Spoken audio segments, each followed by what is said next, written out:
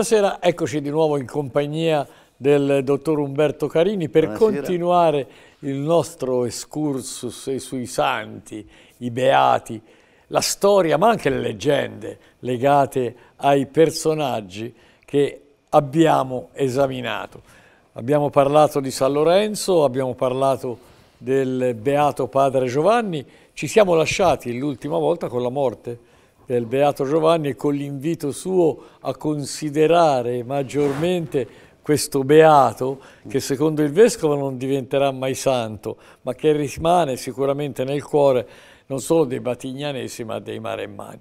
Ed è appunto io mi volevo allacciare a questo personaggio, sempre al Beato Giovanni, ricordando che prima di essere autorizzato dagli agostiniani scalzi a rimanere a Batignano nel convento e poi a morire addirittura a Batignano, eh, lui pregava durante anche eh, nel ritorno dai suoi viaggi presso i potenti o presso paesi e città dove andava a tenere i suoi, i suoi interventi, lui stava all'eremo di San Guglielmo e quindi l'eremo si chiama di San Guglielmo e quindi è importante, credo, parlare anche di questo santo così caro ai grossetani che è festeggiato da noi in diverse località, tra l'altro Castiglione della Pescaia in primis. In primis.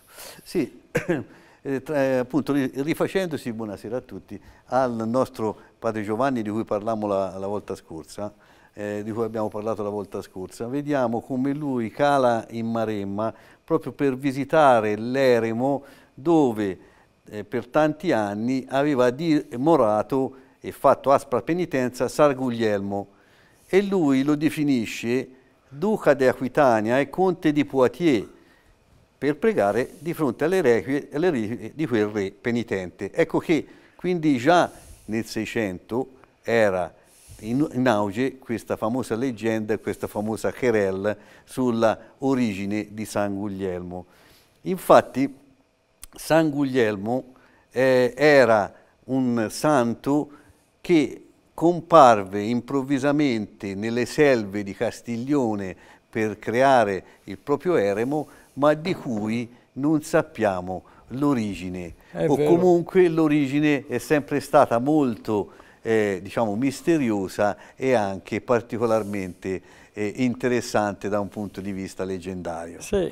Infatti eh, noi sappiamo, avanti con la prossima diapositiva, che Guglielmo X di Aquitania, ne, siamo nel 1137, quindi insomma siamo in pieno medioevo, sparì durante un pellegrinaggio, durante il, la, la sua andata a Gerusalemme e scomparve per, secondo la leggenda, venire a fare l'eremita in Toscana.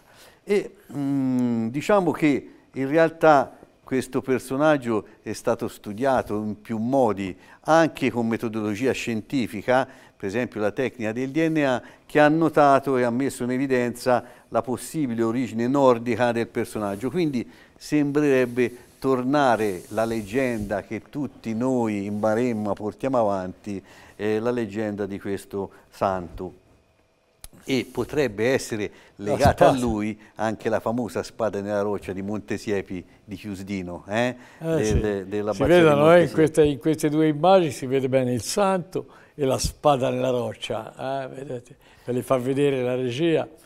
E eh. Ritroviamo un personaggio, di cui, un professore di cui si è parlato anche la volta scorsa, il professor Gallaschelli, ricercatore di chimica organica di Pavia, che parla e dice che la spada di cui si è parlato per il, per il sangue di San Lorenzo a, a, a, Maseno, dice che la spada nella roccia di, di Chiustino è strettamente legata ovviamente alla leggenda di Re Artù, eh, certo. e quindi e mette in relazione i due personaggi, cioè San Guglielmo e San Galgano. Eh, San e Galgano, quindi eh, questo è particolarmente interessante. Vediamo qualche analogia tra questi due personaggi, tra questi due santi della nostra area maremmana, anche se uno è prevalentemente dell'area senese. E infatti eh, San Galgano, che è vissuto dopo San Guglielmo, ricordiamoci San Galgano divenne, eh, andò a fare l'eremita nel 1180, quindi 50 anni dopo eh, l'arrivo di San Guglielmo a Malavalle. E vediamo quali sono le affinità fra i personaggi, fra San Guglielmo e San Galgano. ambedue erano cavalieri, ambedue decisero di dedicarsi alla vita eremitica e quindi di fare un'espiazione della loro vita terrena. Entrambi avevano eh, abbondanti legami con la materia arturiana. Quali erano? San Galgano ovviamente infisse la spada nella roccia e fece l'opposto di quello che aveva fatto il re Artù, che l'aveva estratta, va bene? Quindi però c'è sempre una spada infilata in una roccia. Ma poi c'è anche un altro particolare che noi dobbiamo prendere in considerazione. Guglielmo X, il personaggio di cui San Guglielmo dovrebbe essere eh, ovviamente l'espressione, era padre di Eleonoria d'Aquitania, che era stata eh, sposa del re di Francia e poi, dopo essere eh, ripudiata, di Enrico d'Inghilterra. Guglielmo X era un trovatore, cioè chi cantava le leggende della chanson de, de, de, del geste. De, de Troyes. E, eh, de Troyes e eh, Chrétien de Troyes, eh, che è l'autore appunto de, delle romane di Persefal, dove si parla di tutto il mito arturiano e di tutte le leggende dei cavalieri della tavola rotonda. Quindi è vicino a noi anche come... Quindi ecco che... alla nostra associazione anche. Assolutamente È un sì. troviere, è un, canta, è un, è un cantastorie. Un cantastorie. Eh. Quindi ecco che Guglielmo è anche, forse è stato un cantastorie e comunque sia, senz'altro ovviamente ci deve essere eh, un un legame importante. Poi, oltretutto, nelle storie di San Galgano viene riportato avanti con la prossima. Eh, ah no, qui poi ci sono anche altri eh, legami che sono un pochino più fantasiosi, ma perché non ricordarli? Eh, per esempio, il fatto che San Galgano, mh, nella, tra i cavalieri della tavola rotonda c'era uno che si chiamava Galvano, quindi analogo a San Galgano. Eh, potrebbe essere molto perlomeno simile, vicino. E poi c'è un'altra storia importante, è veramente strana questa. A Rocamadour, in Francia, c'è un santuario con una spada infilata nella roccia, va bene? Quindi in Francia abbiamo un, anche lì una spada nella roccia che eh, sembra che risalga appunto al 200. Bene, questa, a questa località, Rocamadour, si recò in pellegrinaggio Eleonora d'Aquitania, la figlia di Guglielmo X. E qual è la cosa più strana di tutte? È che l'unico altro luogo dedicato a Maria di Rocamadore si trova in provincia di Siena, a pochi chilometri dal nostro Chiusdino. Quindi a pochi chilometri da Chiusdino, a, a Murlo, nell'eremo di, di Montespecchio, detto il conventaccio, c'è anche qui una ma, eh, oh, Santa Maria di Rocamadore. Ma è difficile spiegare queste cose. Difficile, eh? molto difficile spiegare queste cose. Tra parentesi è un edificio, anche questo per gli escursionisti lo consiglio, molto bello perché è una zona eh, impervia. Dice, vero, sì. che è fatto in pietra rara, in questa pietra rara, no? Sì. Che... E quindi diciamo è senz'altro un'esperienza quella di andare nei nostri boschi a ma fare davvero, trekking, eh? va bene? Questo è anche un invito eh, a a, a ad allargare le storie, a scoprire. Sì, no? A scoprire il nostro territorio. Eh. E quindi, eh, Eccolo, tornando a San Galgano, San Galgano. Eh, si dice che eh, comunque sia eh, bisogna anche essere, eh, tornare coi piedi sulla terra. San Galgano, come si è detto, eh, si è fatto santo quando ormai eh, eh, San, San, Guglielmo era già, era già, morto e la leggenda della spada si diffonde nel 1200, quando anche San Galgano era morto. Quindi potrebbe darsi anche che la spada non sia stata infissa da San Galgano, ma dai frati di Montesiepi che ne volevano mh, tramandare la storia e il messaggio del cavaliere che in quel momento aveva abbandonato la sua vita eh, di armi per fare una vita eh, diciamo di, di, riflessione e di preghiera. Quindi eh, diciamo che eh, la vicenda comunque della roccia, della spada nella roccia, ovviamente è senz'altro un momento particolarmente eh, caratteristico della storia di questo territorio e quindi ci riporta alle vicende dei nostri grandi santi e dei santi anche i nostri vicini, cioè certo. della provincia di Siena. Ma, eh? che, ma sono interessanti, ma guardi che secolo questo qui, che è stato questo 1100, no? Certo. 1100. E siamo noi, intanto si nasce come città anche noi. Sì, il, eh, muore nel 1137 il nostro, il nostro amico, Ma noi nel 1138, quando eh, noi si diventa città anche noi, no? Sì. Con Innocenzo, che trasferisce la diocesi da Roselle a Grosseto. A Grosseto. È tutto ave... Ma lei pensi quante cose stavo quante facendo? correlazioni ci sono? Quante correlazioni ci sono dal 1130 in poi, insomma, voglio dire. Beh, è tutto legato, ma, ma lei guarda, ma insomma... Eh? E, e, niente, quindi a proposito di santi cavalieri, parliamo di santi cavalieri e vediamo come nel nostro territorio ce ne siano in abbondanza di santi cavalieri e comunque di cavalieri, soprattutto avanti la prossima, uccisori di draghi va bene? Anche questo è un'altra caratteristica delle nostre leggende. Eh sì, l'abbiamo detto parlavamo di leggende anche. Nei nostri, nei nostri, boschi, nelle nostre selve così fitte, così importanti, ci sono tutta una serie di santi che eh, si eh, dilettano, tra virgolette, ad uccidere draghi e a sconfiggere quindi Lei poi è specializzato in questa cosa, perché sì. Montorgialino, il drago è di casa. È di casa. Dunque ne, ne, ho elencato quattro di dragottoni della Maremma, va bene? Che interessano tutte le nostre aree. Il nostro San Guglielmo, da dove siamo partiti e dove partiamo, poi c'è eh, nelle isole San Mamiliano, poi abbiamo il Conte Sforza a Santa Fiora ed infine abbiamo il nostro San Giorgio a Montemerano e Montorgiali. Ci fermiamo solo un attimo e poi riprendiamo con il dottor Carini. Pubblicità.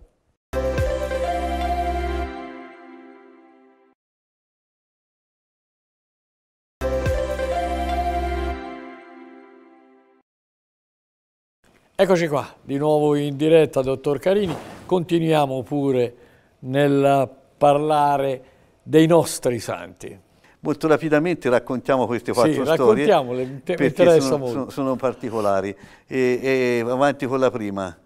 E naturalmente San Guglielmo, tutti sanno che eh, Guglielmo eh, avendo scelto un antro dove divorarvi, trovò dentro un drago che terrorizzava gli abitanti, lo fattosi il segno della croce, lo toccò e con un semplice tocco di bastone lo Io farei vedere anche lui in primo piano con, eh, ecco, quando naturalmente fa fuori il drago, vedete?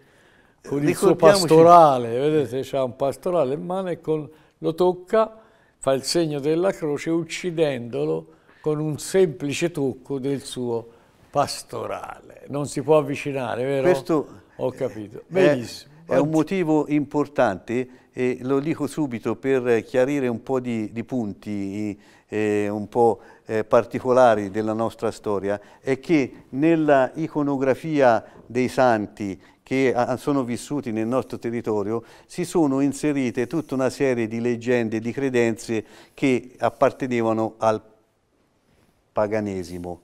Appartenevano al paganesimo. Nelle selve di Castiglioni era frequentissimo il culto di Ercole va bene? Allora ecco che fra gli abitanti, i semplici abitanti del luogo, si è inserito la figura di San Guglielmo che con, anche lui con una clava, con un bastone, riesce a domare l'idria come, come eh, Ercole, Ercole, e, e il, il, drago. Ecco che quindi la figura ah. del santo si traspone alla figura precedente del, eh, di, un, eh, di, una caratteristica invece pagana del territorio. Ma Questo senti, per capire come, come i culti vengono, si trasformino nel corso dei secoli per eh, diciamo, eh, dare la possibilità ai semplici, ai poveri, ai più di capire e spiegare certe eh, trasmigrazioni. Bella cosa, interessante. Quindi lasciamo San Guglielmo e, e Drago, passiamo per esempio a San Mamiliano. A San Mamiliano. San Mamiliano eh. è precedente, ovviamente appartiene al periodo romano. Altro drago. E qui i draghi sono addirittura due, uno a, San, a Montecristo e uno al Giglio. Al Giglio. E eh. quindi il nostro San Mamiliano, ora qui vi parlo di quello di Montecristo, che eh, avendo sempre trovato il, il, la tana del, del drago nel, eh, diciamo in cima al monte più alto dell'isola, ne, eh, li balza in groppa, gli si attacca al collo e con la forza e la sua abilità lo strangola. Anche lui era un cavaliere, un cavaliere berbero, perché San Mamiliano viene dal Nord Africa, quindi ecco che questi flussi migratori erano presenti anche, anche allora. E, e San Emiliano è, appunto, era arrivato dal Nord Africa, cercava chiaramente un rifugio nelle nostre terre e eh, riesce a uccidere questo drago con la semplice forza delle mani, non con lancia né con spada, ma con la semplice forza delle sue mani. Naturalmente da questo scaturiscono le scaglie d'oro che sono caratteristiche dell'isola delle Cannelle di Montecristo e anche un'acqua un che eh, sembra essere curativa nell'isola di Montecristo. Ma che bello! Lei tra l'altro ha scritto un libro su, su questo, Monte eh, su Montecristo, sì. un libro interessante, tra l'altro io l'ho letto perché partendo da un familiare, insomma, poi racconta, gli dà la possibilità di raccontare anche tante storie su Montecristo. Monte Poi, eh, proseguendo con gli eroi ammazzadraghi in Marimma, si passa sulla Miata, quando gli Sforza avevano, erano subentrati all'Aldobrandeschi e si racconta che c'era un drago, un cifero serpente nei boschi della selva vicino a Santa Fiora e eh, Guido Sforza, eh, che era il, il, principe ereditario del trono di Santa Fiora, questo lo faccio breve, decise di andare da solo e di uccidere, di sconfiggere il mostro. Quindi attirò il drago con il suo scudo lucidato a specchio, il drago il, vedendo un'immagine riflessa nello specchio pensava che fosse un altro suo eh, concittadino, coetaneo, e in questo modo Guido Sforza lo infilzò. E in realtà, e, ah, tra parentesi, per questo gli tagliò la testa, la testa la potete vedere, anche questa è un'altra bellissima gita al convento della Selva, eh, in cui si trova la testa ancora osservata. E la testa toglie tutti i misteri, in realtà è una testa, si vede, sembra di coccodrillo, va bene? E quindi probabilmente sembra, poi la storia riferisce, che Guido Sforza avesse un allevamento di coccodrilli e questo non fosse altro che uno dei suoi coccodrilli scappati dall'allevamento e lui si fece forza. Diventò un personaggio leggendario. Leggendario, ah. si fece forza di questa. Eh. Comunque la testa del nostro mostro, del nostro drago, si trova sempre alla clinica, eh, a, sì, alla, clinica alla, chiesa, alla chiesa Trinità, dei Monti, Trinità dei Monti. E alla selva invece... E, eh, sì, appunto, alla selva c'è questo, questo, il convento. Sì, dove qui, e c'è questo alla selva però, sì, alla selva, la reliquia. Sì. E quindi, ripeto, altra gita per la nostra Barebba, chi vuole andare, dopo Santa Fiora, fra Santa Fiora e Castellazzara, c'è il convento della selva, molto bello ed interessante. E veniamo per finire eh, all'ultimo, e naturalmente non potevo non parlare di lui, di San Giorgio. E lei, eh, della sua, della sua, del suo luogo nativo. Precisamente. Però San Giorgio ha una cosa particolare, una caratteristica particolare a cui tutti non pensiamo. Mentre tutti gli altri santi e eroi erano personaggi vissuti effettivamente qui, per San Giorgio non è così. San Giorgio è un personaggio del tutto leggendario, del tutto diciamo, inventato, inventato, per questa terra, va bene? E allora come si fa a ambientarlo nelle nostre località? Bene, il volgo, la gente, il popolo, anche i religiosi hanno fatto molto bene, molto presto, non hanno fatto altro che identificare dei luoghi o delle circostanze in cui San Giorgio si sarebbe hanno passato. Hanno costruito una storia proprio, varie hanno, storie. Hanno costruito il punto dove c'erano le pietre. Dove c'era il ginocchio del cavallo. Dove era la fonte dove si abbeverava. La fonte del drago. Dove, quindi ecco, localizzarlo nel territorio, non certo la figura storica, ma, ma l'episodio, va bene, viene localizzato nel territorio. Ed ecco che il nostro San Giorgio che eh, a, a, a, Montemerano eh, caccia il drago e lo scaccia, lo fa fuggire e eh, finalmente a Montorgiali lo uccide. In tutti e due i casi naturalmente avrebbe salvato la comunità e fanciulle giovani fanciulle in difficoltà. Eh? Questa è la figura del drago. Qui vedete accanto una figura di eh, un personaggio in costume eh, di, da antico romano in una delle tante rappresentazioni. rappresentazioni. Ma ci sono sempre? Te le fanno sempre? Sì, sempre. Anco, anche, sì? Continuano tuttora e, e c'è tutta la sfilata, la cavalcata. una volta, sì, ricordo. Sì, tutta la sfilata, la cavalcata che chiaramente vuole, eh, preceduta da, da alcuni eh, figuranti vestiti in, con abiti antichi romani e poi tutti i cavalli che seguono, eh, fanno tre volte il giro del paese, vanno fino al santuario di San Giorgio e poi ritornano al paese. Eh. Quindi eh, diciamo è una festa tipica del folklore eh, molto gialese e naturalmente maremmano. Quindi concludiamo la nostra carrellata, carrellata di oggi sì. con questo discorso. Naturalmente questi di, di, dei draghi e di, di, queste entità misteriose è disseminata tutta la nostra maremma, no? che eh, insieme a cavalieri erranti, eccetera. Questo perché? Perché si è sempre voluto conciliare il sacro con il profano, perché si è sempre voluto mettere in evidenza la lotta eterna fra il bene e il male, va bene? E queste sono chiaramente le caratteristiche che, che vogliono un pochino contraddistinguere gli eroi del bene che riescono sempre a prevalere.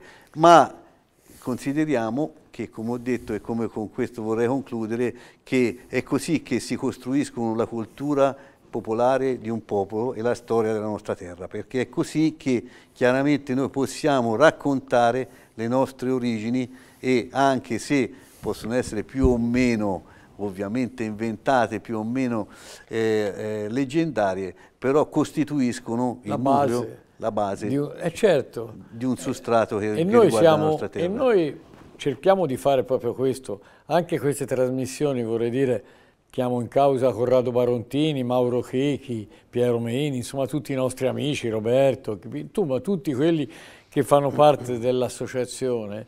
Eh, questo è un bel impegno, quello nel cercare di portare avanti le tradizioni, siano esse usi e usanze di vita vissuta davvero o siano espressione di leggende, di invenzioni, come San Giorgio e non è stata la sola, perché anche dei personaggi di cui abbiamo parlato, dei santi e dei vari santi o dei vari beati, c'è sempre una parte leggendaria che accompagna la loro vita ed è quella che ha creato l'alone poi intorno a questi personaggi che sono rimasti di grande attualità e che oggi sono o dei campioni della fede oppure dei testimonial del territorio, no?